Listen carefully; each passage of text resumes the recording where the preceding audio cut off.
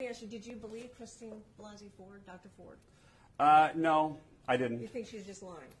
I, I think that something happened to her. I think that maybe she, she might have a screw loose. That's what I think. Um, and I think that uh, But you, but you, you know, you know he was- here's- here's the thing. But do you know what, when you say that, I'm just. coming forward as a victim of sexual assault, as I understand it from interviewing many people who've been in that situation, it's very, very difficult, and many people don't tell.